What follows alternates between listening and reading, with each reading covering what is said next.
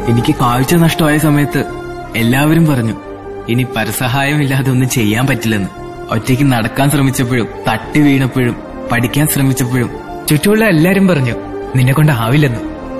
പക്ഷെ എന്റെ അമ്മ മാത്രം പറഞ്ഞില്ല. എന്റെ അമ്മ പറഞ്ഞു നിന്നെ കൊണ്ട് പറ്റും. നീ ശ്രമിക്ക്. ശ്രമിച്ചുകൊണ്ടേയിരിക്കെ.